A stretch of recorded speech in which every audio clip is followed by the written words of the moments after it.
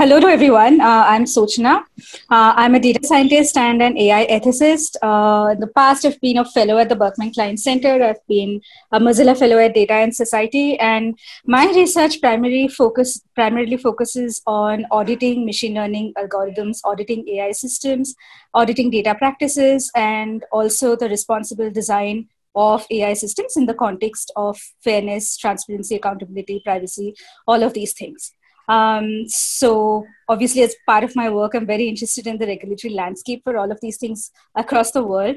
Uh, you know, particularly the global south and how countries in the global south are grappling with these issues. So um, I know when Zainab asked me to join, and I think I was like, uh, you know, like annotating, angrily annotating, I should say, the draft version of the NPD bill. And yeah, we'll see how today's conversation goes. Yeah, Suchana, if you can also share your annotations uh, in some of the comments, oh, yeah. and we can keep a repository going because, like Nishant was pointing out. Uh, sorry, Nishant, please go ahead. No, no, I was just mentioning the same. Like, I think all of us here are with far more questions here mm-hmm. along the same lines. That at the end of it, I think we're going to leave with more questions to unknowns uh, in that context. And that shared context also would help because I'm thinking of drafting a response, and some of that That'd be. Be able to, yeah. Yeah yeah, would love to collaborate on a, on you know if, if, if you're thinking about drafting a formal response that we can submit, I'd love to collaborate on that, and then uh, you know maybe I'll also just reach out to my network and see if anybody else would be interested in contributing as well. I think thankfully we have a little more time now that we have an extension until the 13th of September, so Right. Yeah, yeah. I think uh, one possibility, Suchana, is if there are more people like you, then you all could put in one response, and then maybe Nishant could put in one. And if there are more startup founders like him, they could put in one. I mean, I think we may also have to write one because I don't know what implications it will have for us as HasGeek. Anyway, okay. So Nishant, yeah. maybe just uh, start first uh, by just like you know what drew your attention and uh, the questions you have, and then uh, uh, yeah, and then we'll take it from there. Sure, absolutely. Hey everyone. So just to set context, I'm an entrepreneur running a company which sort of uh, works around data systems and the likes. And obviously there's elements of insights in generating data and sort of uh, optimizing based on those insights. Uh, which is naturally why i sort of uh, this came under my radar and sort of started looking at it naturally at the crux of it uh, right from the definitions of non-personal data i think the way they have defined as a c and again please correct me along the way i'm just sort of summarizing my understanding and open questions. Uh, one is the public npd itself uh, which they have defined i think as public author- data with public authorities and governments. Uh, but there's no nature of sharing that is mentioned there as far as I noted. Uh, then there is community npd and then there is private npd right? Uh, which also has a nature of compulsory sharing by government or voluntary sharing which has an impact on economy by market rates. Uh, i think there are a bunch of open questions that i have. One is in the context of traditionally how i've looked at it and again please correct along the way is that there's traditionally ip and then there is personal data privacy. Uh, business insights that are generated over a period of time that a business operates in uh, is been traditionally considered as IP, right? And I mean, if, as a founder or as a startup, we look at in, uh, growth and talking to investors and others. That is definitely one of the place where most of the things sort of stand out, uh, and de- they have to be built over a period of time. Like if data is the new oil, then most of these companies are refineries, right? In that context, uh, refining that oil in terms of crude oil, making making sure it's actually usable, uh, and sort of iterating based on that so that is one sort of large gambit. But the other specific one, uh, I think the overarching sentiment that comes across through the document is the fact that it's intended to help startups in some way, uh, which itself seems false uh, from the ground realities in terms of how things play out, right? Because uh, one is the economic value of the data itself. And uh, naturally, the bigger the company, the more muscle they have to pull it off. But then there, there's a fairness of price in terms of can even startups afford it the other way around? And if there is commoditization and democratized access to data then what uh, usage of data sort of uh, purposes does it restrict to? That also is unclear. And from a technology standpoint honestly i have doubts on the whole uh, anonymization bit itself right? Like there's a amount and we all know it enough to understand that beyond a certain point, a triangulation and correlation of the data across multiple sources is not really that hard beyond a point. Um, where you could be targeted in that context as a unique ID, though obviously it's faceless, nameless, uh, but still being able to identify it as an identity that has a certain kind of behavior. Uh, the next aspect I have quest- thoughts around is more essentially in the context of software as a service providers or just cloud service providers. Uh, it mentions, I think, in one of the sections of technology reference architectures that both cloud and data businesses agree contractually to comply with the terms of storage, etc., and sort of how it is exchanged. But again, beyond that, what does it mean? How does it get uh, sort of affected? Is massively open-ended. Uh, right from the fact that the qualification of a data business itself, I think, is uh, based on the limit of data. And if you think about open-ended question for all the others on the call is would a cloud business in this context which is actually just running solutions and sort of infrastructure for all others be considered in the software context as more uh, data generating business? And what kind of data will it have to open up about the kind of workloads that their customers run? Uh, so yeah. And then again three different perspectives right? And as a user myself, uh, when we right now give consent to data, we can consent to data for my own and for the usage of that application. But even if it's aggregated, I think that's also a bigger discussion that needs to happen in that context. Is if all of that data is being actually anonymized and aggregated to a certain uh, abstraction, have as users we consented to it honestly. And by the way, this uh, I'm not sure how many of you are aware, but I would just want to cite that last year in July, uh, Gadkari, Nitin Gadkari had announced in the parliament that they had, you know, sold off Vahan database for about at least 120 different companies at three crores a piece. Uh, and so a whole different angle in terms of was that even supposed to be done and in what context and does this apply in the way how it's going to sort of uh, behave but yeah uh, so more questions no answers uh, a lot of terminologies but at the crux of it I think the three viewpoints that stand out for me in that context is a, as a user myself, as a business processing some of that data and the impacts of it, and as a startup, fundamentally the how it doesn't really help me in any way to actually be competitive, which the bill claims to be uh, helping in that context. Okay, thanks, Nishant. I think these are fairly valid points. So, Advait, if you can uh, make in your sure. make your points, uh, then maybe we can rope in some of the others before Samir can go next. Sure. Um, so you know. Uh, oh, sorry, Advait, just for the benefit of others, maybe you should just reintroduce oh, yourself. Okay, okay. okay. Uh, hi, I'm Advait. I'm a reporter with Bloomberg Quint uh, right now, and I've been a reporter for the past four years, uh, obviously covering mainly finance, but I've been looking at uh, you know fintech, data privacy, uh, data security, uh, at least related to the sector. Although I'm, so I would say I'm kind of well versed with the larger issues, the macro issues concerning these things. Um, so you know, I I went through the report again, and I think you know, like the speaker earlier said, there are more questions than answers and you know there are some nuances to the report that i may miss out on so apologies for that.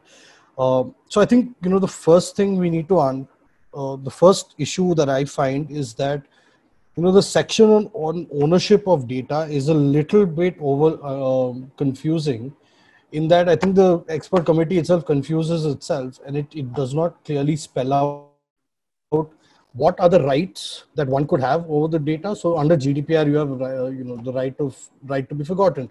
This expert committee report does not mention that. So when you're asking for consent to take my data then de-anonymize uh, sorry anonymize it then put it as part of a larger aggregated database and then sending that data do i have the right to be pulled out of that database that you're sharing what are the redressal mechanisms? It doesn't mention redressal mechanism.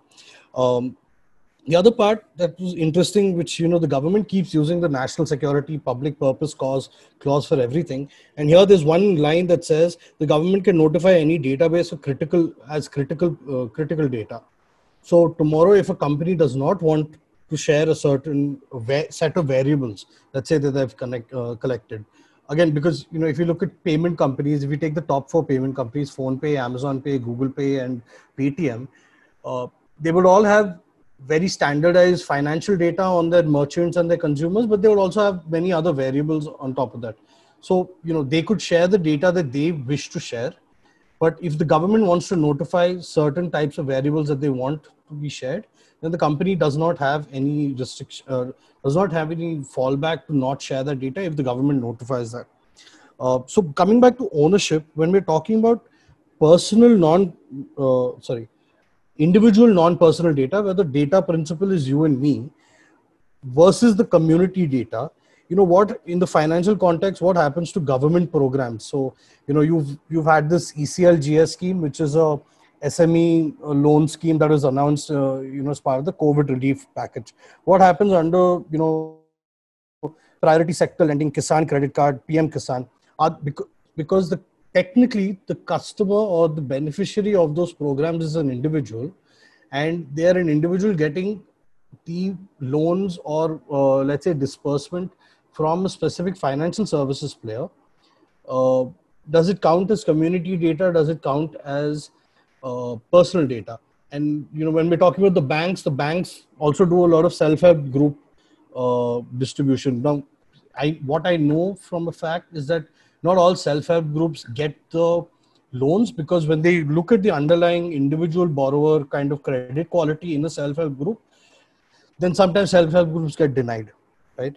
Um, so you know that's sort of covering the macro points. I think uh, the other sort of uh, issues that i find there's also a line that says that you know it's giving the power to the data trustees and data custodians to do value added services on top.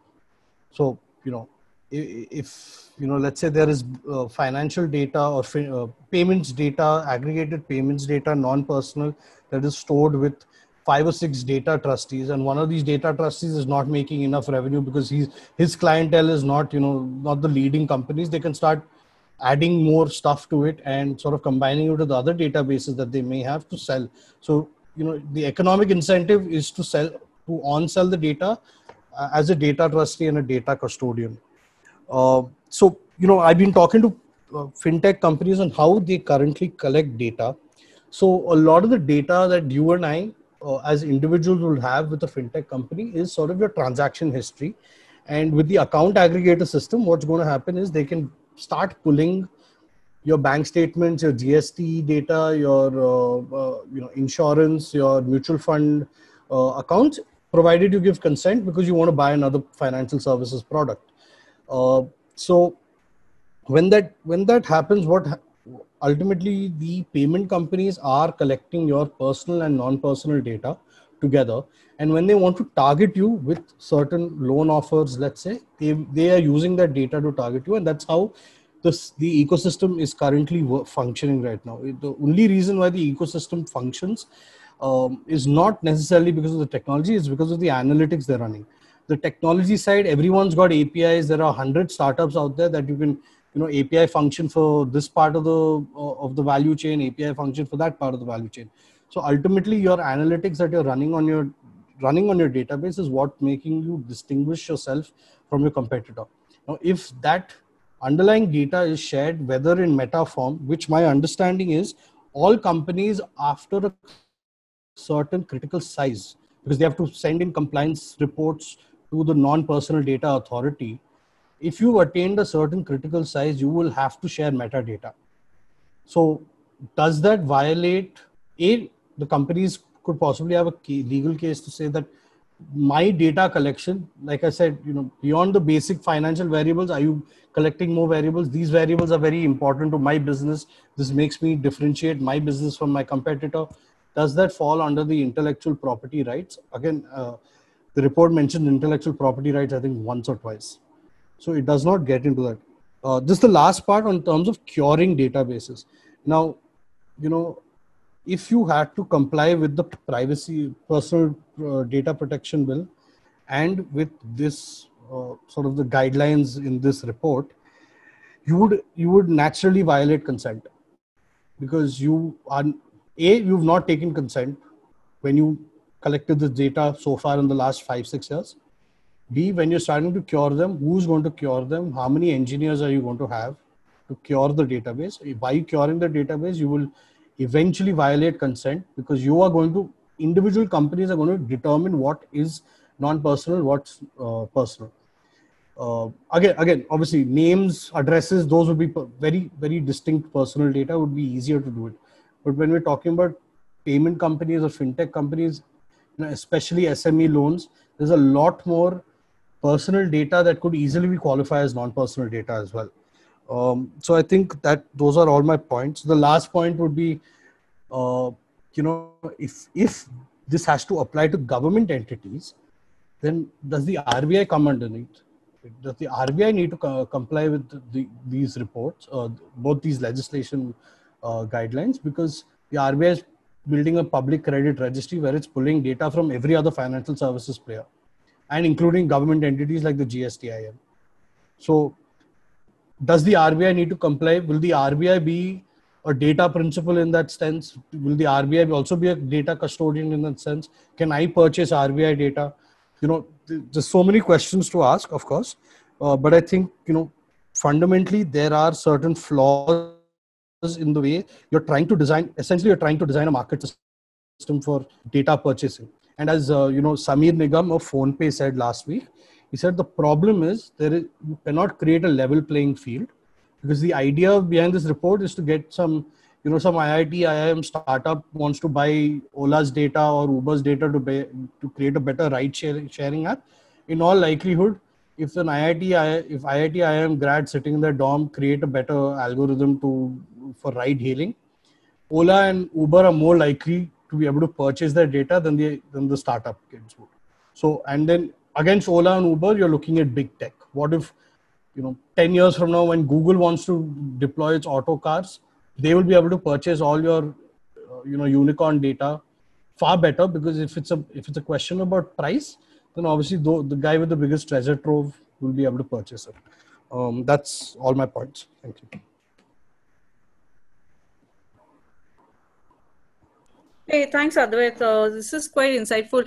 Uh, Nishant, you have anything that you want to kind of uh, cross uh, communicate uh, with what Advait said? Because I think your concerns came from an entrepreneur and cloud provider. I mean, not that you're a cloud provider, but yeah. your background. But uh, Advait seems to be stressing a lot on fintech. So I don't know if there's anything that you want to respond to. Otherwise, uh, I'll probably ask Suchana and then Prasanna. Oh, actually, there's Anubha also. So let me ask Anubha after Nishant, you have any response.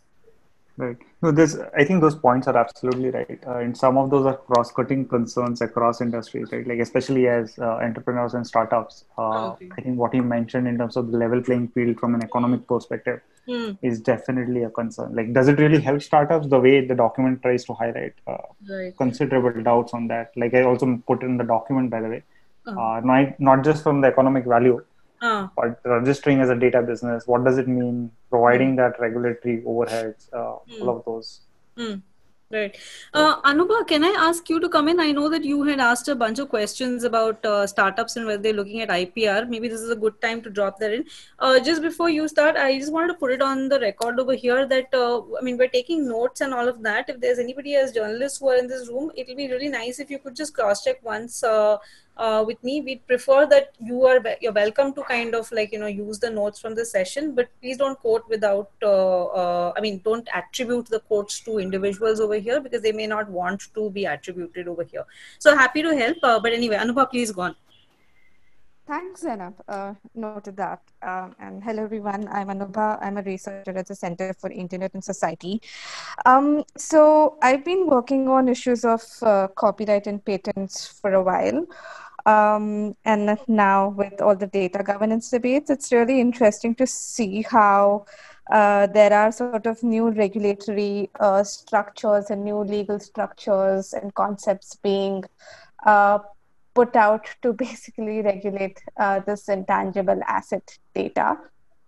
And um, uh, the, the, the report is, uh, I mean, I'm not sure what the report takes as its starting point it doesn't do a good justification at all of you know um, and ignoring uh, this, this sort of like IPR framework that already exists um, in terms of copyright, especially. I mean, in India, um, copyrightability of data sets uh, is a right. um, and and and uh, whether uh, you know uh, the the standard of any average data set uh, of copyrightability uh, you know if it if it meets that criteria is is a subjective question. Um, um, you know and and the fact that the report does not sort of delve at all into this sort of an aspect um, it does not clarify whether it's superseding this sort of regime that already exists.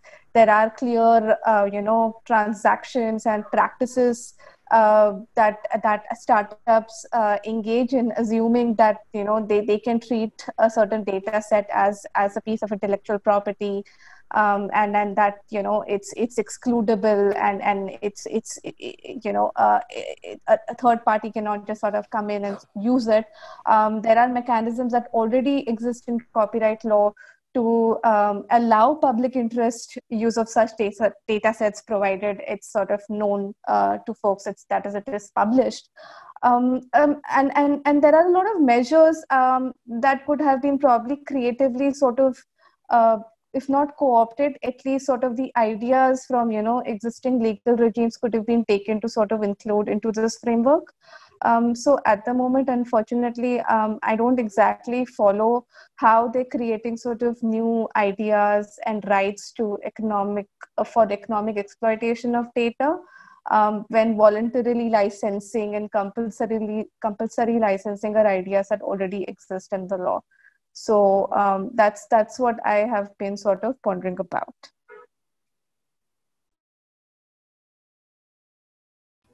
Thanks, Anubha. Uh, Suchana, is this a good time that you want to kind of jump in? And then maybe we can ask Prasanna, followed by uh, uh, Samir, who has uh, a bunch of uh, responses from a technical standpoint. Suchana, it might also help if uh, you have any thoughts about, like, you know, where this might lead to in terms of engineering and cost of compliance is a fairly rhetorical question. But yeah, I mean, like, in terms of re engineering systems, etc.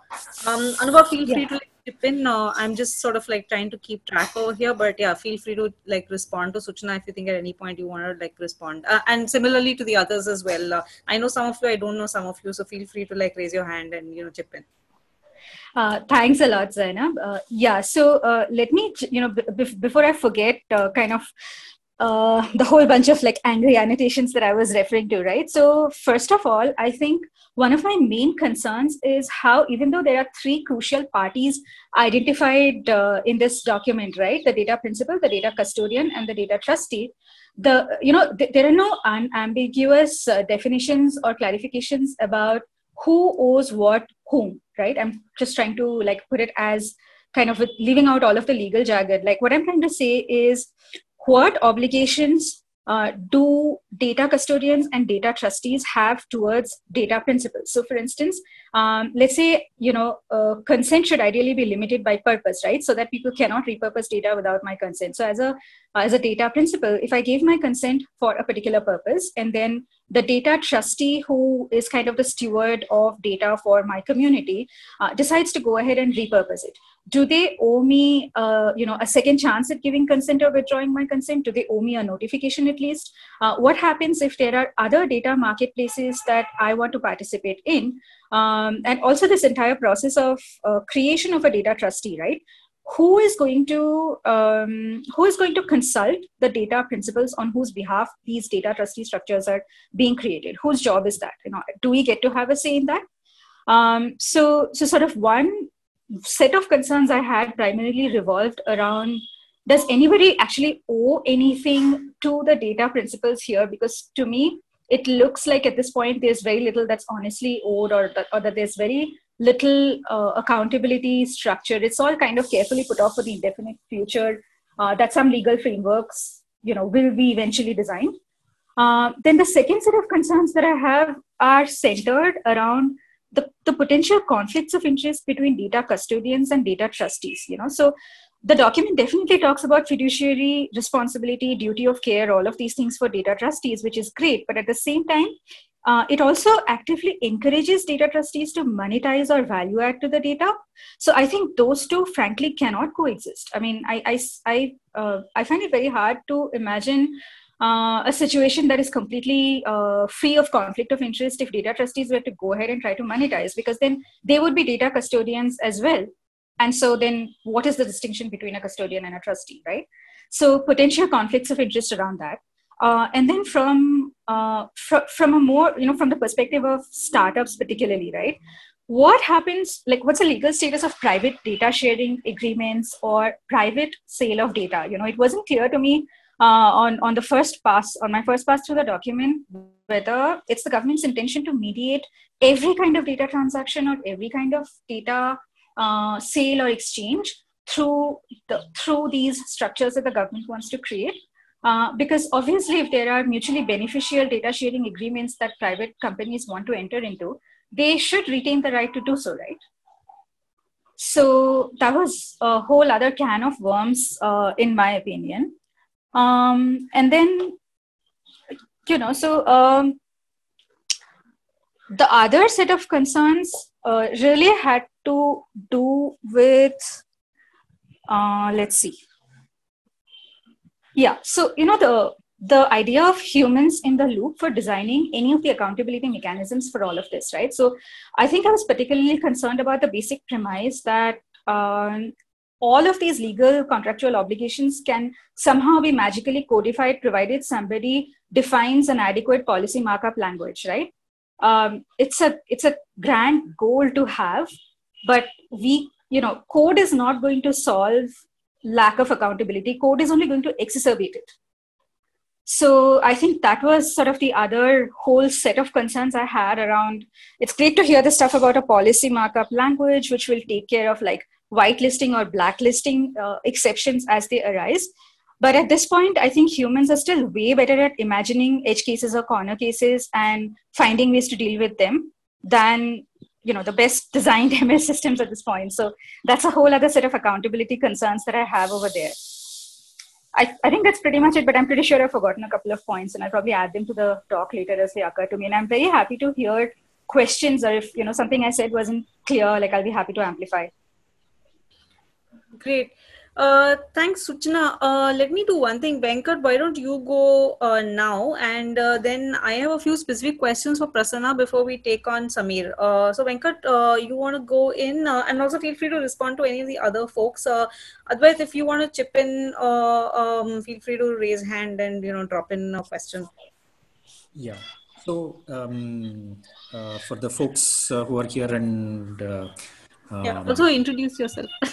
yes. So um, I work for a company called uh, Scribble Data, and we are a data processor in this whole thing. And our interest uh, is actually twofold. One is that uh, all the people that you're talking about, um, both the data trustees and so on, they're all our customers. So the or potential customers. So we are bang in the middle of uh, all of this uh, implementation aspects of all of these things. That is our uh, you know uh, need be or that is what is driving my presence uh, here. And the other thing that is driving my presence is the fear. Um, the people that uh, there are two entities that the government can go to to ask for data. One is the custodians uh, themselves or the data trustees and then the other group of people who have access to all of that uh, detailed data is all of us right? Data processors so I, I mean, I'm, I'm losing sleep over uh, some uh, official calling me, asking me for uh, data of my client. And uh, we typically have access to sensitive information because we are doing the data preparation for uh, all of these folks. And uh, so that is my worry. And um, I want to just respond to one uh, thing that Suchana was uh, talking about the data trustees and the custodians. Actually, there is not a lot of conflict of uh, interest there. I mean, our we already as Scribble, we are already in conversations with uh, intermediaries who are doing this account aggregation, data aggregation. Um, and the reason the there is no conflict of interest is that the reason uh, these entities are emerging is because the banks and uh, other uh, individual um, custodians they don't have visibility into multiple of these uh, data sets because uh, Paytm, for example, has only Paytm's data. It doesn't have PhonePe's data. So a third party has to mediate that. Um, and the second reason seems to be, uh, in many cases, the custodians uh, don't uh, have the capacity. For example, a lot of the banks don't have that analytical capacity. So they have a symbiotic relationship uh, with these account aggregators and uh, intermediaries. So my suggestion here is that uh, the market is already evolving. Uh, and the uh, uh, the this this one combined with the PDP law is mostly about formalizing transactions that are already happening today right? And we get called into some of these things because uh, if there is an intermediary that wants to enrich the data and you know do all the analytics and things like that they come to us and say can you build out the mechanics associated with some of these things? And so we do get uh, visibility into um, some of these things. And this is happening uh, uh, beyond India's geography. We're talking to fintech companies in India and outside India. Okay, I think Prasanna had a question for Venkat. Uh, Prasanna, you want to? Yeah, no, no. I just missed two words, Venkat, while you were speaking. Sure. Uh, who did you say were your customers? Um, the it is typically custodians but now ah. increasingly we have intermediaries or the data trusts that you are talking about. They don't call oh. themselves data trusts but essentially they are basically dealing with data that belongs to the custodians outside the organizational boundaries. For example the account aggregators is one of those uh, kinds yeah. Got it got it. Thanks Prasanna, you want to respond over here, or uh, you know, both uh, to Nishant's concerns as a entrepreneur, technologist. Uh, I think Advait also raised a bunch of issues, as did Venkat. Uh, is there something you'd like to add on over here? Um, yeah, I mean, the one, yeah, many of those concerns relate to uh, the, I mean, some what I call the core issue is it is it is refusing to recognize that the custodian by by default being the custodian is the owner. So this this actually is pulling the rug beneath your uh, your foot. I mean whether you have the right at all is is a question it's a philosophical question.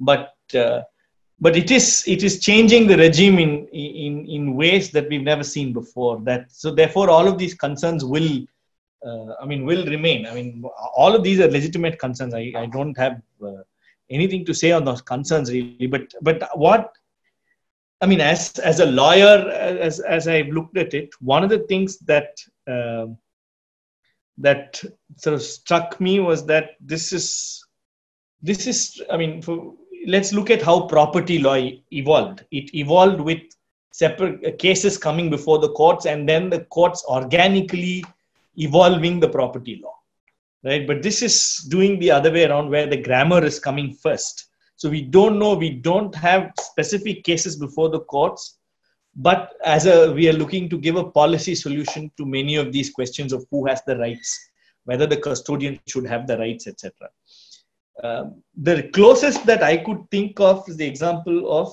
the skies.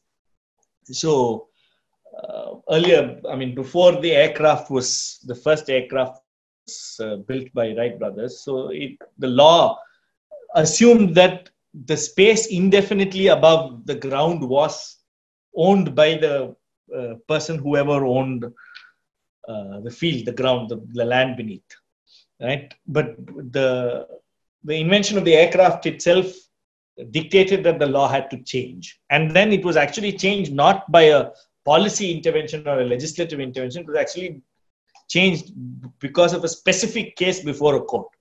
And then the court had to hold that no, it's, it's only up to a point. And then what happened immediately was that the court held, so all of the skies were effectively nationalized. So this report does not take that uh, uh, approach. In fact, it, it could have easily gone, uh, gone ahead and said, see, all of this data even though you are custodians, as I said, the banks who are custodian of a lot of data, that the example was given. So, uh, and then they are engaging intermediaries of their choice to add value to the data and give insights, etc. But all of that, that entire framework is valid only when, as a custodian, you recognize the rights of the custodian over that data. So this actually pulls the rug from the beneath and said, no, you may be custodian of that data, but by default you don't become its owner. And the data vests to the state, and the state is going to administer the data under this regime, which is by the NPD authority.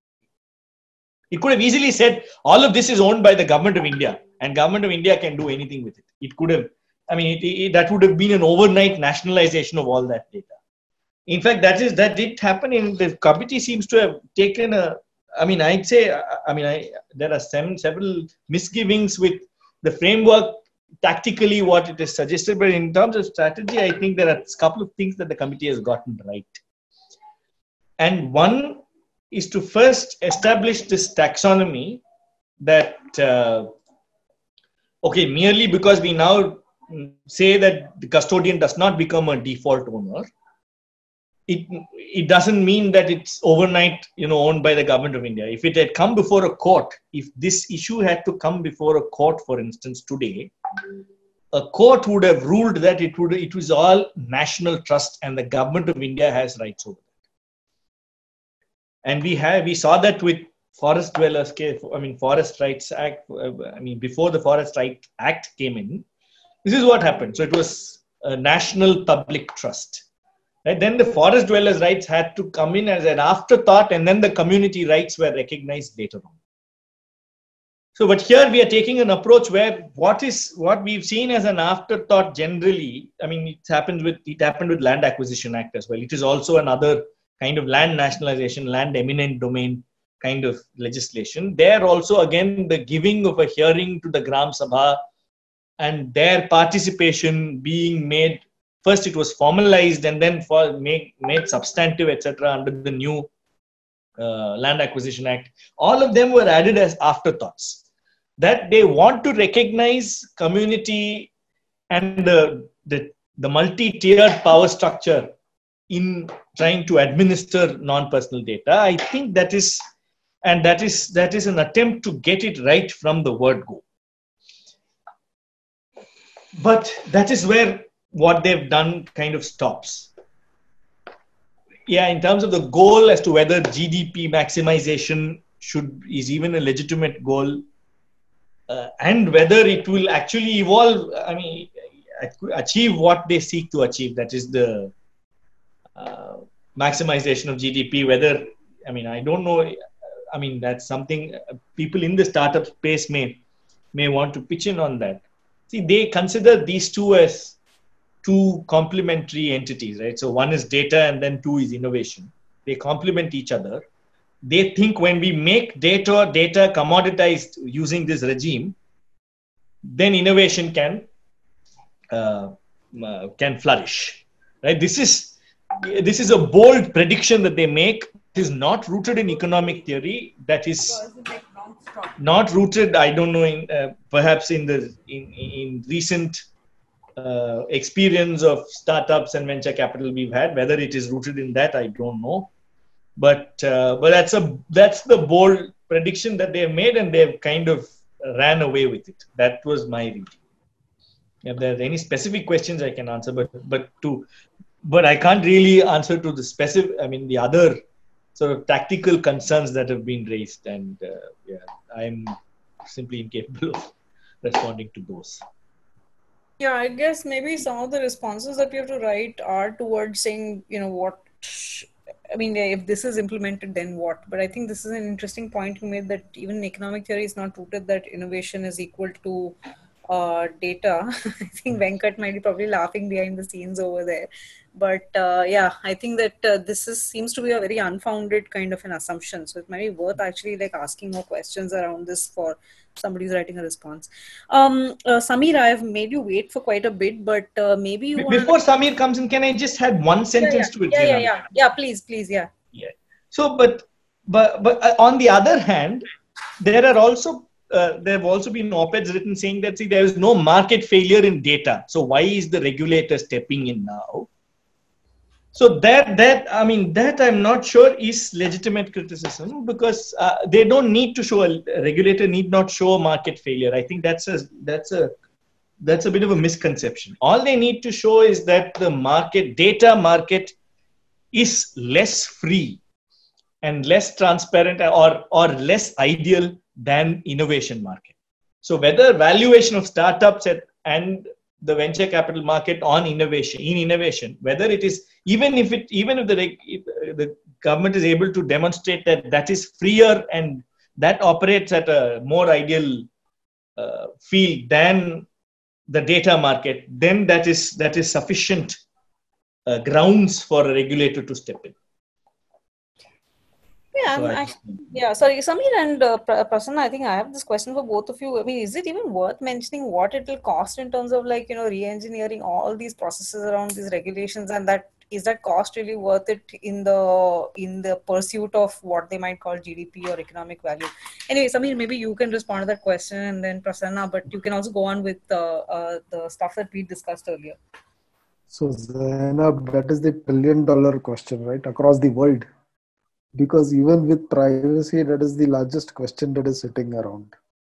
As to whether uh, the previous applications the legacy ones need to be re-engineered. And i don't think anybody has any answers to that.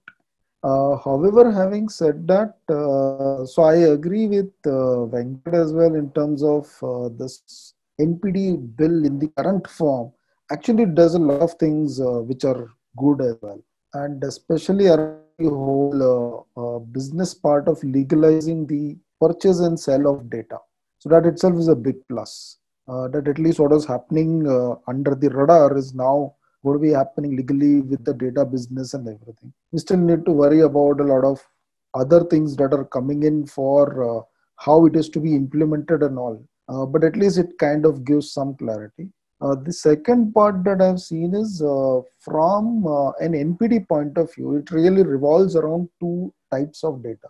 So, one is what we are curating, massaging, or anonymizing from personal data that is collected. And there they are saying even the sensitive personal data groups identified as the India PDP uh, will continue to remain sensitive even after being anonymized. So, therefore, the consent carries forward and uh, there is i think additional consent now that is required if i'm going to anonymize and uh, sell it. Or i'm going to curate and uh, share it or sell it anywhere. So whether it is with remuneration or not it still needs to be uh, tagged there. Not just for personal now for non-personal data as well.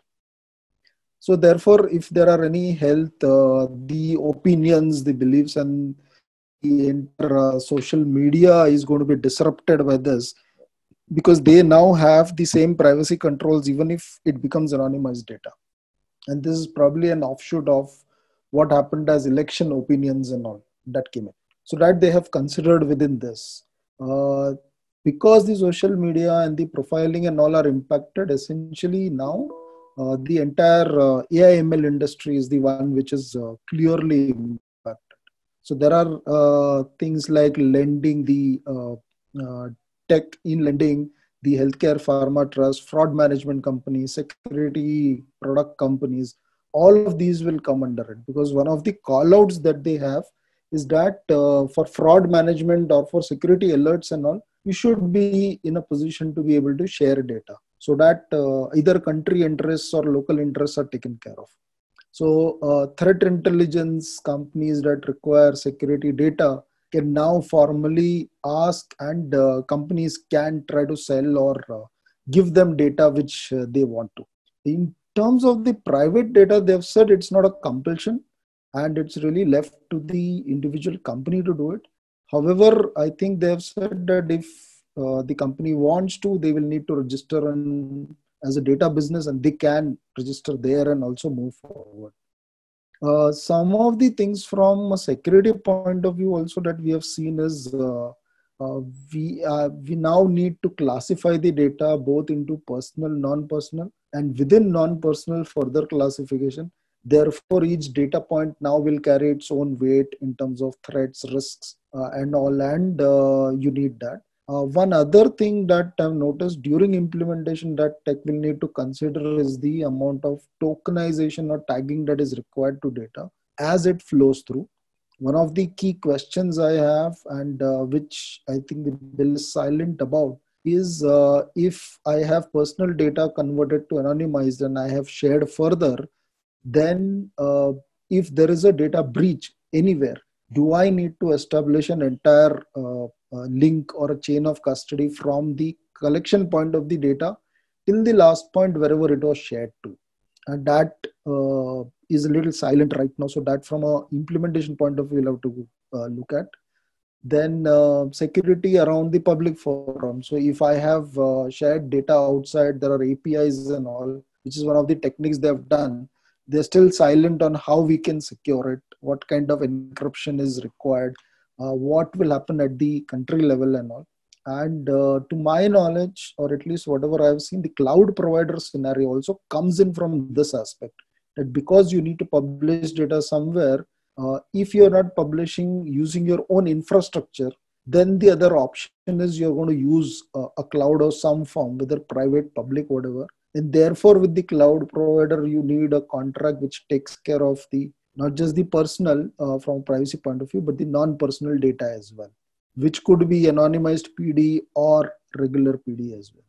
Uh, I think they've also mentioned that one of the types of data, which is the community data, needs to be submitted in raw format and uh, not the uh, uh, one other thing that i saw is on the algorithms where uh, for the algorithms the bill is silent they say that we may want to audit and all but uh, they are not very clear in terms of uh, whether the algorithm needs to be shared with authority.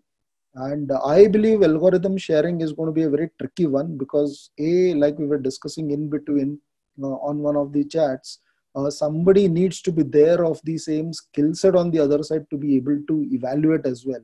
And two if it's an innovation thing then how would you even uh, evaluate it yourself so that's that's a tough call. Uh, i also felt that somewhere innovation while the bill says that you know it's going to encourage innovation and startup and all that i felt that somewhere it is going to be uh, more blocking than actually encouraging. And uh, the availability of data so easily can open its own uh, pandora of uh, worms. And therefore uh, from a private point of view the moment we are collecting data to be able to uh, sell it somewhere we'll have to be very clean in terms of the whole consent mechanism and how uh, it's going to operate and implement and all the bill also talks about the open api which the government is trying to propagate this I believe standard to be a very major thing. I don't think it is going to be so uh, easily doable. Worldwide, uh, we have not seen such an implementation happening anywhere. At the most, we have seen an interchange format that are good for certain types of data between uh, similar businesses, uh, say maybe within the banks or bank to RBI, RBI to bank, that kind of scenario. But otherwise, uh, uh, tough. They have also mentioned purposes that uh, you can map. So some of the callouts in that are national security law enforcement which is more of the uh, community portions uh, then you have for mapping security vulnerabilities and challenges so i think this is a good boost for the whole cyber security industry because uh, that's going to be a plus uh, to be able to get that kind of data though in what form is different and then any law enforcement, uh, pandemic mapping is another such example that is put in. And uh, a lot of the things here that are mentioned, even as examples or uh, the callouts that are coming, seem to be very relevant and prevalent when it comes to the whole uh, pandemic portion of it. Uh, also, in terms of uh, you know some of the questions that were coming up earlier, uh, to say that uh, uh, how will the government generally have access to my data and all. I don't think that is the case anywhere. It is saying there is a blanket access that is available. If an access is required, it will still, yeah, I'm not a lawyer, but I think it will still go through the regular disclosure pattern that is there for uh, all the laws uh, everywhere across the world. Uh, nowhere does government get access to data directly. It can of course use the state surveillance methods and all that but that's a different case. Uh, to your data even today i think if the government does a court order you will still be required to turn over your data uh, whether you have a contract with a customer or not. And uh, so that uh, kind of thing is not something which is in the purview of this. Uh, the bill does not try to change it in any way. Neither have i seen it defining or forcing saying you have to uh, share data or you have to share algorithms uh, and all that. for startups, I think mostly when it comes to training models is where there's a benefit, where people will be able to ask for training models and all. Uh, in terms of uh, the tech portion, again, uh, I think the whole architecture of the way we are storing, tagging data, taking rights on data. when I say rights in terms of digital rights and not just data user rights, this whole architecture will need to be reworked so uh, even in terms of anonymization, I feel that the bill should call out clearly saying if as an entity I have anonymized and uh, sent out data, then uh, somebody should not be able to de-anonymize uh, just using my data. To that extent, if uh, it can be called out, that'll be great because uh, I think like Suchana was saying that the moment you have data outside and I have multiple data points, I can de-anonymize using data sets from four different entities about uh, an individual. So that portion is cool. Uh, and uh, we could use sort of a standardized, uh, you know, a JSON or a markup language and all, which could take care of how the data exchange can be uh, included. Uh, that's something that I think we should be able to do. I hope I've kind of tried to answer most of the questions, but if there is something specific uh, I can still answer more if I, missed. Sundar had a question. He's saying, "What does submitting in raw format means?" The the way you have collected without uh, massaging or changing any characteristic of the data. So if I have collected online through a form and it has gone into my database, the first level of online is what is expected to be uh, sent. The moment I profile or massage or uh, break it into different places, then that is not raw data for us. I have, I have one or two questions, uh, just just clarifications. Uh, my understanding is that if a business, uh, you know, now it says data business, I think all businesses are going to be data business. Even my company technically has a lot of data analytics on our readership, for instance. So, uh, but doesn't the committee report kind of make it uh, mandatory that once you've reached a certain stage that at the minimum you have uh, certain critical mass uh, of whether it's in terms of revenue or in terms of the amount of data you collect that you have to share at, at the minimum metadata. Isn't that the condition? And uh, the second question kind of prasanna is what happens when you know personal data moves or uh, you know transfers into community data? Is there any sort of uh, what is your understanding of you know if my personal data is now part of a community data how does that kind of work out so prasanna can i answer first or you are answering? No you go ahead first. I'll, I'll answer following you. Okay. So uh, your first question was uh, uh, from a uh, ask that if you reach a certain size uh, they will ask for data and you have to share.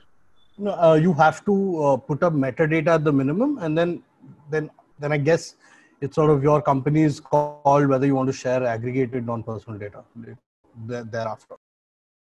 No, it's a company's call. Uh, as far as private data goes, uh, if something is classified as critical data or uh, sensitive from a country or sorry, so I, I would put this way if there is something which is critical data as identified by the government and which is the case in the personal data bill as well the pdp as well even there they have called out for critical data and the same definition comes here so if the country uh, overall has identified certain data as critical uh, then they will uh, mark that accordingly and that is the data that they can ask for you.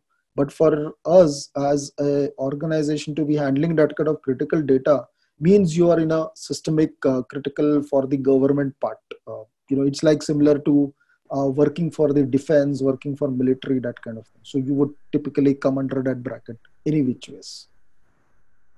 No but uh, so, let's say a private payment company that that you know there's no public purpose but it's you know consumer good sort of thing. If you're collecting x amount of data or if your revenue is above a billion dollars let's say some of these companies are already crossed that uh, you know isn't the is, doesn't the committee kind of push for the metadata to be mandatorily shared is my question. No i don't think so. There is anywhere written so specifically. That is not the case also when it comes to sectoral data there is also the sectoral regulator who will come in. So as a vertical they may ask for certain data for themselves for benchmarking whatever. But as a government uh, i don't think it's a mandatory thing. At least i couldn't read it anywhere. But prasanna would be a better person to answer from a law point of view if it is being interpreted like that. Sure, sure. Thanks. Yeah, so I'll come to that. For the first question on uh, on personal data and community data, I mean, so this see, there's one other assumption that this report makes is that see this this demarcation between personal and NPD will largely be clear. It is it can be adjudicated that's why, in fact, the NPD authority will then adjudicate whether some particular data is personal or non-personal. Once it is non-personal, the entire regime will apply, and that's when it is uh, the question of whether it is private or community arises. Uh, but uh, whether in real world that adjudication is going to be an easy uh, uh, task, I'm not sure. Right. So as as you said, uh, even the report rec recognizes one problem that is the de-anonymization problem. But there is another fundamental problem as well in trying to delineate whether something is personal or non-personal. Um, it is to say whether it is personally identifiable. Personal identifiable is again you know with with technologies that are available as of today what about future technologies whether it, whether data becomes personally identifiable later on even without anonymization de-anonymization all these problems? So that is still a question so i don't think they particularly engaged with that in detail. They, they seem to have proceeded from the assumption that this demarcation is clear. Uh, even though there may be some gray in certain areas like de-anonymization anonymization so long as you make the obligations clear that it can be handled. That is the that seems to be the assumption. And that assumption carries forward in also in this tier of whether it is community non-community data private data. Um, yeah so yeah so therefore it's a long-winded non-answer. Sure. Sorry about that. Also i think uh, if you have personal data as part of the data even if in community then it deflects itself to the pdp bill not the npd so yeah. there, that is also something that comes. That's correct. In fact, I think it might have been better for the bill, for the report to have defined non-personal data as data under which no rights could be claimed under any other existing law. That seemed to have been the overall, although they don't define it that way, that seems to be the I mean, the overall tenor and tone of the bill, the report appears to indicate that is what they try they tried to achieve.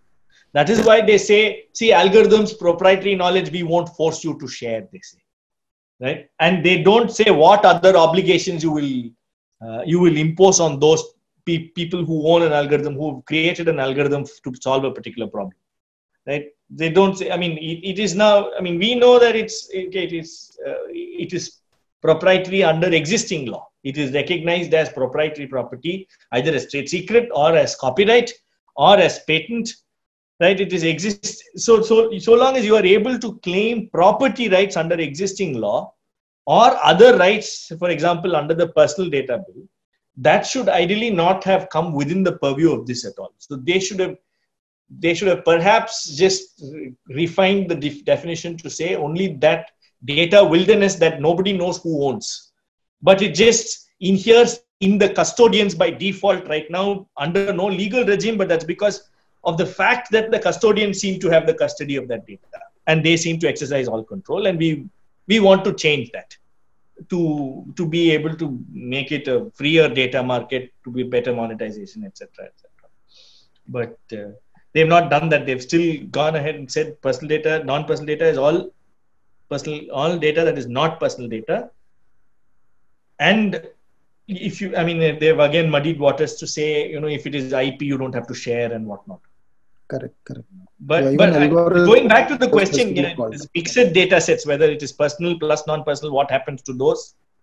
Whether they even envisage that that possibility i'm not sure. I don't think they even consider mixed data sets for their uh, any of their examples or any of their uh, uh, points. I don't think they do so, so, so that brings me to one of the points that I raised is that you know they're saying that for value added services the data trustee or the data custodian can on sell it. So then that's sort of acknowledging that the ownership is no more with the principal. So whatever rights you have shared are over and then there could be third party sales beyond what was initially stated. Or, or, or you know even fourth party sales for that instance. Like they could aggregate their own data uh, the yeah. data trustee or data custodian could aggregate their own data create their own data set and then on sell it as a separate you know as a separate business rather than just storage and consent management. Yeah. i think right. So long as it's not personally identifiable they say they don't even recognize any beneficial rights for the principal. That was your point? Yeah yeah. Yeah yeah that's correct that's correct. Thank you Okay, we have Shivangi and Sheikh Idris also. Uh, Akshay has been posting some questions. Uh, let me ask, Akshay, do you want to take this up a little bit, or do you think the responses are uh, are okay for now? Uh, the ones in the chat. Um, so I just wanted to bring this point out either way. So uh, this was basically understanding the implication of the data sharing. So while we are debating on whether the algorithm would be shared or not uh, there are cases like say provision of credit where if you have the databases completely shared and even the result as a matter of regulatory filing is shared uh, it would be easy to build a model based on what say another company has done. So then sharing of algorithms becomes like a moot point whether you're allowed to or not because a company can always make an algorithm that works according to another company's algorithm. So this was just like this is where the intellectual property question also comes in. So uh, just mm-hmm. wondering what the implication of that would be because uh, even the analytics itself doesn't remain proprietary if just the data is shared. Hmm. i think anubha may want to take that. Yeah. Yeah also suchana venkat uh, if you have any thoughts on this Anubha, you want to go? Or maybe Anubha is not here. Yeah, I think Anubha is uh, not here. Uh, Suchana Venkat, any thoughts on this? And this also this question of data and innovation. Uh, I mean, actually speaking, how much of it is mostly like building on top of somebody else's idea? That's what we see in the Fifth Elephant every year. Somebody is doing something for six months, and we don't know if that's going to last for another 18 months or not. So, uh, Zainab, I think, you know, uh, what I was trying to tell Akshay was that um, if replicating model performance is, is what we are looking at here, then, you know, we have already seen lots of instances where, you know, maybe you don't have access to uh, exactly the same data that your competitor has access to, but you are, you know, as it is, you know, uh, without any data exchange or anything being in place, still able to augment your own data sets with other external third party data sets and achieve, say, similar uh, performance on that prediction task, even though you are not relying on the exact same underlying data and you may not be uh, uh, even using the exact same model family. You could be like using a model from a different family and you could still expect to get similar performance. So yeah that's my take on it. Cool. Venkat, any thoughts on this? And Venkat, are you planning to write a response on behalf of Scribble? okay. Um, uh, Shivangi, um, and uh, Sheikh Idris, you're also in the room. Uh, please uh, take a moment to introduce yourself, and also if you have any questions or thoughts on this, and maybe we can wrap up with uh, what we plan to do next, uh, because some folks are planning to write a response. So uh, we should also decide if we want to do another meeting like this and also continue on the document. so Shivangi, if I can ask you to go first, and then Sheikh Idris. Yeah, thanks, Zainab. I was hoping to be quiet and just listen to everybody on this session. Um, I'm Sh- Shivangi Nadkarni. I uh, the co-founder at Arrka. My uh, Sameer is uh, my co-founder. He's already spoken about many things that we discuss internally on this. Uh, just a couple of points that uh, I don't have answers to. I just want to throw it out uh, uh, with this community and see if there are any thoughts on this. One is, and it's been discussed also earlier uh, see this whole uh, so there's there are some boundaries that the pdp bill draws right and it says very clearly that anything that is anonymous is outside the purview, basically because it is not personal data and therefore the whole uh, thing around NPD.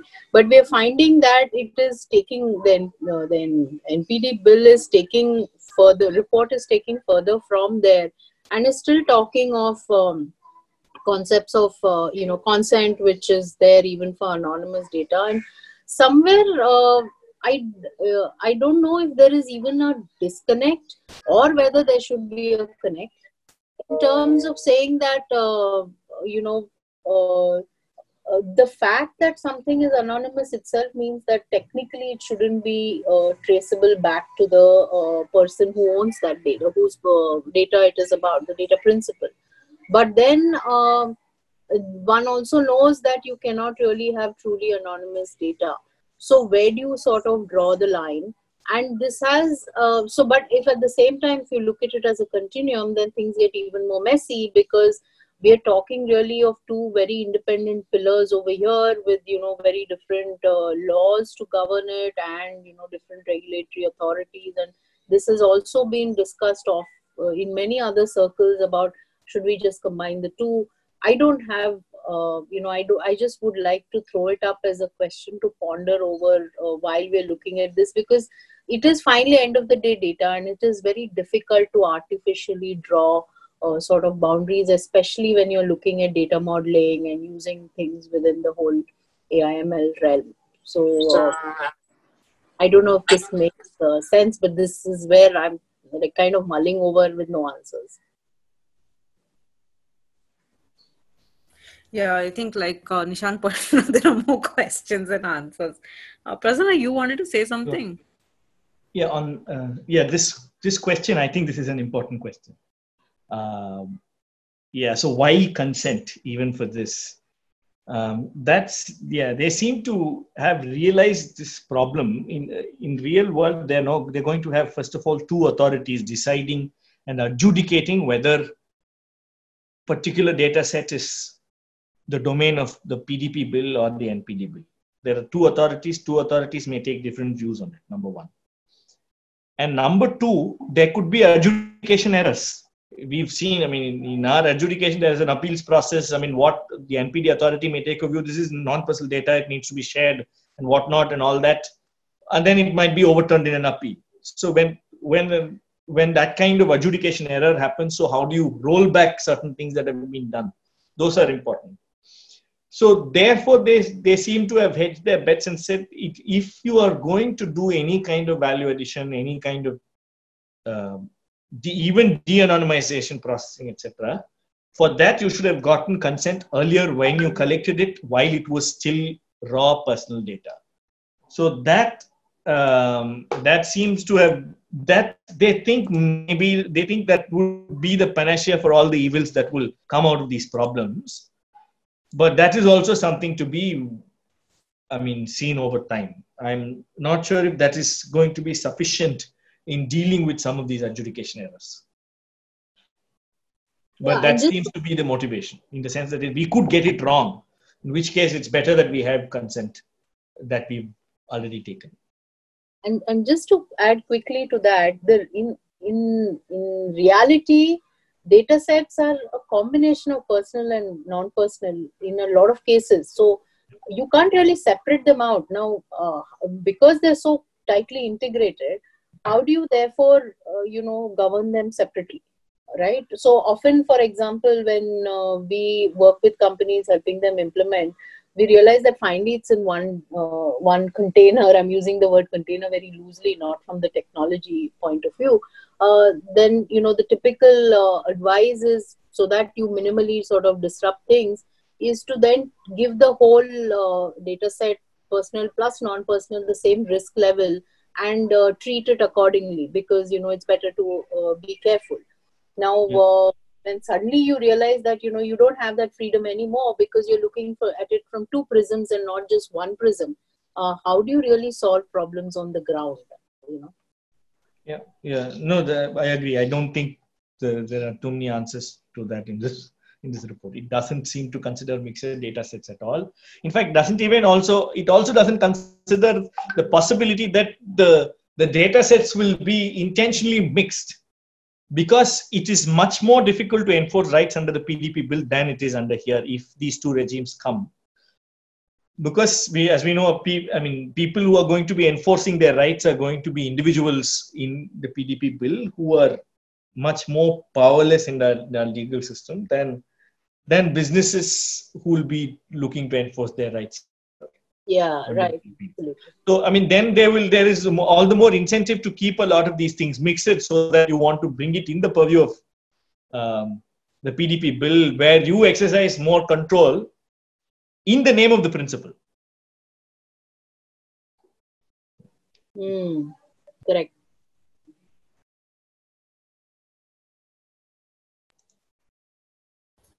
So, from a federal system standpoint, uh, Prasanna and some of the others who may have more information on this, what is the role of the bodies other than a national government or something into this? Because it seems like it's also more centralization of economy, uh, unless, of course, I have missed some point uh, over here. Yes, and yeah, this is, um, yeah, I mean, uh, our constitution is a largely center oriented constitution. And anything you don't know, anything that comes up afresh is effectively the center's domain. So that's why, I mean, if, if we had to litigate this before, the, for example, we also need to look at, okay, there is no NPD regime, what would happen?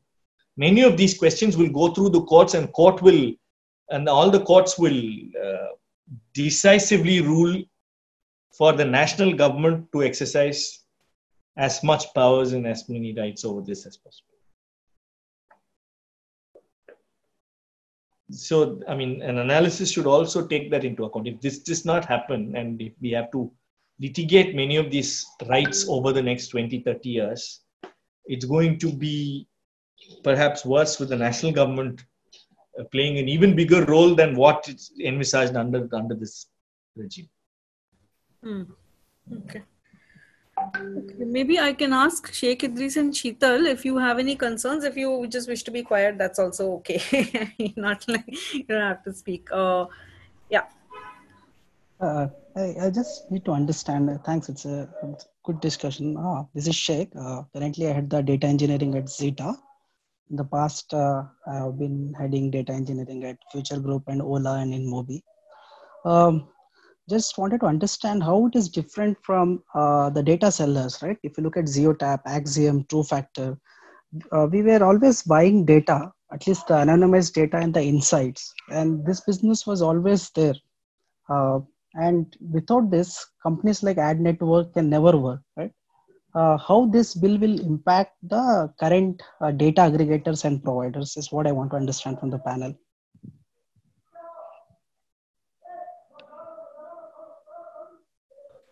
Prasanna, Sameer, uh, Advait, if you any of you want to take this question, or Shivangi, if you have any idea. I mean, if, yeah, if we don't know, we don't. I am not. I'm not sure about the ex- uh, the existing data companies. I don't cover them, so I'm not too sure about that. Yeah, but I mean, uh, data, existing data companies, even if they are there, uh, the law will anyway come uh, as a, uh, not as a retrofit will still be forward looking there's nothing you can do on the back data okay i mean that's how gdpr pdp everybody is working in the same fashion i'm not mistaken mm-hmm. Prasanna, you have any responses to uh, Sheikh Idris? Uh, do you mind repeating that question? Um, so with this uh, uh, non-personal data bill, right, I want to understand the impact on the existing uh, data aggregators and data provider companies which sell data uh, or at least which sells the data insights. So yeah, they are the ones. That, they are the ones they're going to be most affected. It is that's what these are the ones I said they are trying to pull the rug under the feet. Hmm. They they okay. say they don't even recognize that uh, um, these are businesses that are that legitimately exercise their business interests. They seem to. That's what they said. They say they in fact they, in so many words they say it now defaults to existing custodians of data and they do it as they like. They they they engage the intermediaries. They engage the aggregators of their choice and all of that, we want to stop all that. That is where the government wants to step in and say we will exercise control over that. So Got that. uh, those are the ones. They are the ones that are going to be most affected by this. Yeah, of course, the custodians, the original collectors, yes, but also because the collectors are no longer able to engage people their choice. Uh, yeah, so that all of that is going to uh, be affected. Got that. Thanks. Uh, okay, Sheetal was here. She's not here. All right. So uh, I think this document has. Sorry, uh, Sheikh, do you want to have? You have Yeah, any other questions? Yeah. Just one quick thing, right? Uh, uh, based on my experience, the data discovery itself has been problem. I have worked with Venkat in the past, right?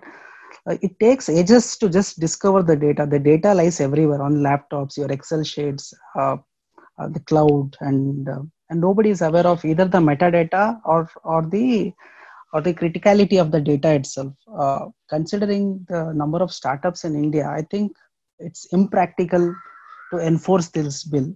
One and two uh, i don't know how good we are at enforcement of this bill and what penalties the government will come up with uh, uh, because if you look at current cyber crime cyber law right or look at the loopholes in the law there are always workaround like i can list my entity outside of india i can play around with my cloud because now it's very easy for me to my data outside of india outside of say at least aws mumbai if people are using aws so I just want to understand because uh, we have, I think, lawyers as well here.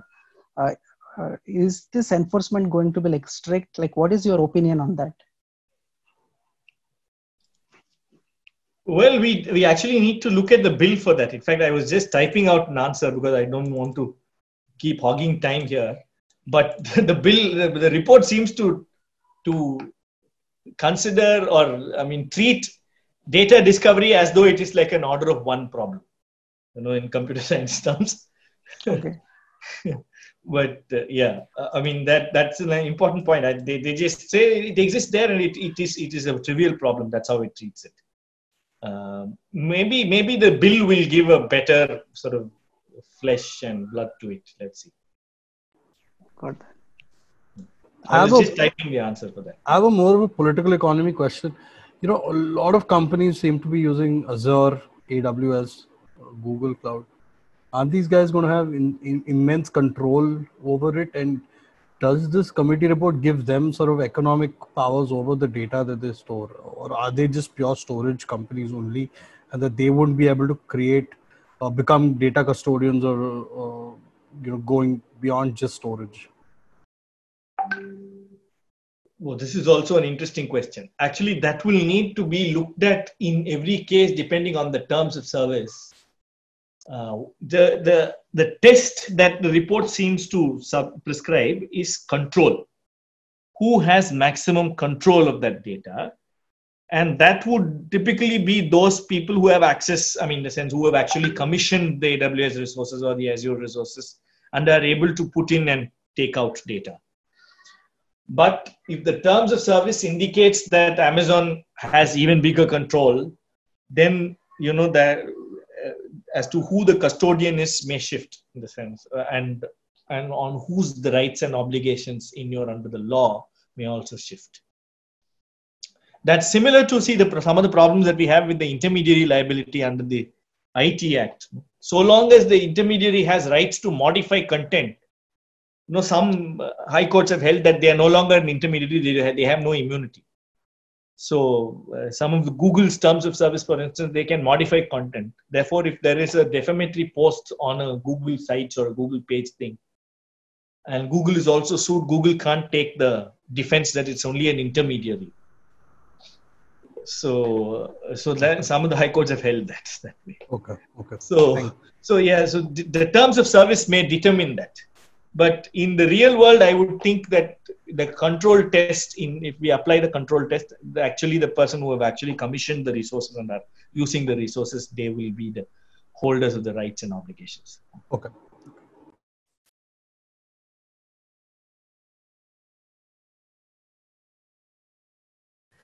Uh, Sheetal, uh, you want to chip in what got you here, or like if you have any questions that you want to get answered, then we can probably like try and wrap up with a few next steps in five minutes.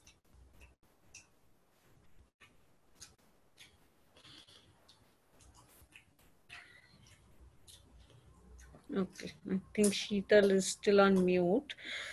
Okay, so uh, uh, I think uh, Nishant is still interested in. I mean, he's going to be writing a response, and some of us here, here may also probably write responses. So one um, uh, one suggestion, and uh, I'll open it up to the others also, is that uh, we could try and do like a sync up sometime um, end of next week to just like look through the notes and see if there are any things that we want to add on. because I think Nishant's also kind of put in a lot of stuff. Um, I was thinking maybe I'll try to see if it's useful to get some of these cloud providers to come in and see if they've thought about these questions and if they have anything to add on or if they want to do a submission themselves, uh, since they might be a group uh, um, uh, that would be sort of relevant over here. Uh, but that's just, these are just a couple of thoughts uh, that I have. Uh, Suchana, um, I don't know, Venkat, uh, Sameer, anyone else uh, has any thoughts? Otherwise, we can like regroup again, like sometime next Thursday or Friday. Ah, okay. Prasanna says he's going to write one. Uh, but yeah, it's good. Okay. All right. Sure. Uh, Suchana, Venkat, Sameer, feel free to chip in. Advait, anything that you think uh, we should try and uh, cover or bring in some folks to kind of throw a little bit more light on? But I suppose, yeah, the more responses, the better it will be. Yeah, I think maybe yeah. maybe get some of these fintech guys and one or two of them. Uh, okay. Some of these guys who who work with large data sets. So one is on the payment side and of course the lending side because there's a lot of alt data scoring stuff that's taking mm. place. Mm. And some of these companies are very shady. Some of them are some mm. of them are known, and I'm sure everyone's read that HuffPost article on CreditVidya. So that's a great case study on how uh, data is sort of collected by all data companies Hmm. And I think CreditVidya has like 30 banks in the network now. So uh, hmm. that would be a good uh, aspect to look at also. Hmm. And you have any thoughts on like uh, uh, the questions that Nishant raised in terms of like you know uh, any folks that uh, you know could sort of interact with some of his concerns? I mean, I'm not sure if that's your area actually. sorry, could you remind me what? So Nishant's sort of concerns came in from an entrepreneurial point of view, and the fact that he runs a sort of a software company which is mostly in the area of SaaS, cloud, etc. Uh, if you think there are any folks that we should pull in as resources to kind of like that he could talk to, or if uh, I mean, this is again a very open question. But yeah, kind of figure. Um, I, hmm. I, I don't know yet, but maybe some hmm. investors would have some points to make. Yeah, because, maybe. Uh, it's all about IP, right? Uh, yeah. So yeah. Sameer Nigam from PhonePe made some very good point. He said, mm-hmm. uh, you know, obviously level playing field is not going to be possible because yeah. Google Google controls search engines. Amazon controls e-commerce. Uh, so if like like I said at the start, you know, if you're trying to get startups to access their data, it's most likely Google and Amazon or you know, let's say the larger payment companies are not mm. going to share their data. But if mm. someone comes up with a good technology platform and they want to get access to data, Mm. Uh, bilaterally, maybe the company would force the startup to share, and then mm. who's going to be an advantage of that? The bigger company. Mm. So I think the capital thing is going to. I think that for me, from a political economy standpoint, the capital question is obviously in favor of the larger tech companies mm. or mm. any mm. company which has a treasure trove, as opposed to a small startup that you know would not have so much data anyway to share. Yeah. yeah. No, that makes sense. Uh, anything else? Uh, Venkat, Suchana, Akshay? I think we should probably regroup in a couple of mm. weeks and see. Yeah, yeah. Yeah, I think we'll plan for late next week or uh, the week following that. But I think this document now has a lot of stuff. I think Prasanna has added to it. Nishant and I we've been, adding, been adding a few notes. Suchana has been adding notes. So I think we'll try to kind of uh, keep cleaning up on that and uh, add to it. Uh, also, mm-hmm. uh, set up just as a suggestion, maybe we can yeah. uh, break the document into sections of uh, questions around legal, questions yeah. around implementation, questions around the data role part of it, and all. Mm-hmm. Then that will kind of uh, help us bring the right experts in each area as well. Yeah. Yeah, I think that makes sense. And also, Nishant has added a section where he says that he wants uh, help on uh, I think he said issues to highlight in the responses. He's put a few questions around economic value, usage of data purposes, triangulation, and this registering as a data business. So I think he specifically wants to have responses on that front so that it's easier for him to kind of like draft his response. Sure. Uh, uh, Zainab, I was just wondering yeah, yeah. if we could uh, get somebody to speak from the perspective of data valuation and, and uh, you know, yeah, there's a lot of talk in the document about uh, you know the it, it, this structure of a data exchange essentially and data custodians and data trustees uh, being able to monetize the data right? And then the granting of data requests sometimes on a free basis and sometimes on a monetized basis yeah i was also actually thinking who is going to put this value on the data and uh, i mean the other question is who in india has actually worked on all of uh, this uh, uh i don't know prasanna do you know of any folks because i think most of the work is currently still very theoretical on trustees and exchanges and aggregators and all unless i'm mistaken and also, yeah. Zen, just wanted to you know add that uh, there is no talk about any of that monetization percolating back down to the data principals, right? Mm. Mm. No, no. There is actually no theoretical framework for that as well. In fact, many of the theoretical frameworks seem to even those that are considered crazy, you know, are, are trying to say, okay, so it is labor. Any data that is generated by principal, even for these large internet businesses, need to be considered labor but none of them are actually looking at even considering them as capital.